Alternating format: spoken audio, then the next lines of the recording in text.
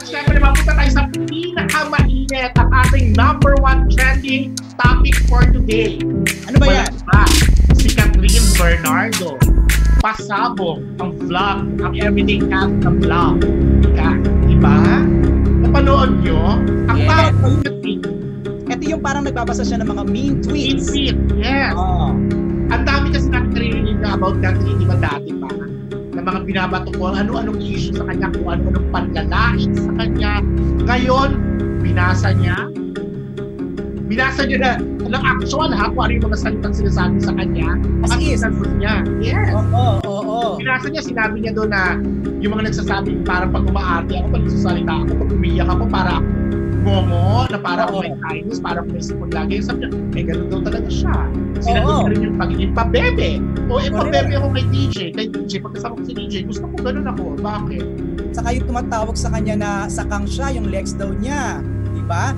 Sinag- Alam mo, it's very ano, no? parang na-amaze ako kay Catherine, no? Kasi ah, kung isipin mo, baka mamaya naapektuhan, pa, naapektuhan siya ng mga ganong klaseng ah, pambabash. Pero tinawanan lang niya. That's the best way, no? To fight itong mga bashers. Jai, ikaw malapit ka kay Catherine.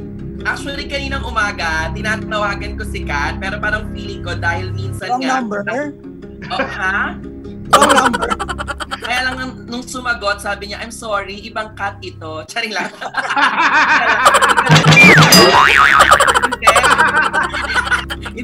Tinatry ko tawagan. Pero sabi ko nga, baka nga borlog spot dahil 'di ba ngayong ECQ parang ito yung time para nakakapagpahinga sila ng bongga dahil ngayon dati nung di pa ECQ more work more fun. Pero alam mo sa totoo lang parang yung mga ganyan si Catherine nung pinapanood ko yung video very ganun talaga si Catherine lalo na kapag kausap mo siya ng kayo-kayo lang na magkakaibigan kayo-kayo lang. Kunyari pag nag-abroad kami ng shows very ganun talaga siya. Tapos hindi talaga siya yung apektado sa mga negativities. Pagka may mga nega nga, dinidedma lang talaga niya. Sinasabi niya, girl, let's just enjoy, ganyan, happy-happy lang tayo. Kaya Pero nung may question ako. Yeah. Alam mo, wait lang, MJ.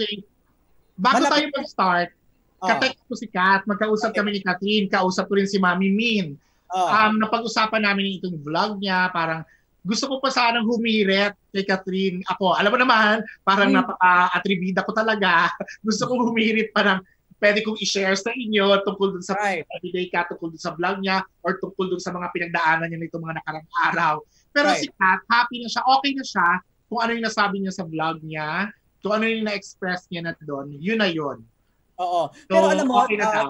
Darls, Jai, kasi minsan, kahit close tayo sa kanila, mahirap sabihin or i-bring up ito sa kanila, no? Kasi siya, Mhm. di natin timplado kung mahasaktan ba sila o baka isipin nila, kaibigan ko ba to? Ba't parang sinasabi pa sa akin itong mga negative na to, di ba? Yeah. Maganda talaga yung mga ganyang bagay, sila mismo ang haharap at sasagot, di ba? Lalo ngayon, kasi ngayon may platform na sila, meron sila kanya-kanyang Instagram, may kanya-kanyang YouTube sila na mas marami naman talaga silang followers, mas maraming ma-reach yung sasabihin nila. Ay, pero aminin naman natin, MJ, ah MJ Darla at saka mga kapamilya, no? Kapag kausaping sakang, parang first time nating nakita si Katrina, ganito lang ng bonggang-bonggang eksena niya. Hey! Oh, ayan, oh. Ikaw nga, Jay, itaas mo ng ganun yung legs mo, kaya mo? Ay nako, no, wag na. Baka magkatinginan ng mga variables. Pero ang tapang niya doon ha, kasi for the longest time, yung mga bashers ni Kat, yan yung ginagamit nila kay Catherine. Pero sabi niya nga dun sa vlog niya, dahil kay Daniel, mina, natutunan niyang mahalin yung legs niya. Kasi kung love ni DJ, love ng Daniel Padilla yung legs ni Catherine. May Sino question pa yung ako, ibang tao Darls. para magsabing sakang ka, di ba? Darls, Jai, may question ako. This video daw was taken prior to the lockdown? Yes, before ECQ pa. Okay. So talagang kumbaga in lalabas na rin talaga to, naka-schedule na rin ilabas, di ba? Mm-mm. O kasi lumabas siya right after the issue na binabanatan siya ng isang blogger, isang vlogger, di ba? Eh ang sinasabi ng mga fans ngayon na parang medyo tasteless na kapag ang tinitira mo na eh kumbaga eh nagiging personal ka na. Kaya siguro naisip na, na naisip na rin ni Kat na it's about time to make fun of those bashing na binabato nila sa akin para wala na silang ma maibato sa akin. Kasi Pero sa mga kat, sa Katniels, sobra ako napaproud sa kanila sa We Block Us mo. Ay, ang grabe yun, no? Trending yun. Nakaka-proud ang Katniels. Oo, yung we block as one. Pero ito, ilang ano mga trending topics sa lobas dito, Darla? Nakita ko parang unbothered queen, protect cat at all costs. Kiss my F legs. Unbothered queen. Yon, ano pa? Syempre yung everyday cat Everyday cat. mismo. Ah, yung everyday cat. Oo, nag-trending din yan. Saka yung ano eh, I stand harder. Yan, nakita ko yan sa mga tweets ng ilang mga fans ni Kat. Ano bang update? Nakailang ano na to? Nakailang views na to in a matter of uh, hours? Si Kat ay ilang views na nga ba ngayon? 1.1 million views Oo, 1.1. as of 3.30 p.m. Wow, grabe. Ito ay ah, sa kanyang ah, vlog na Everyday Cat.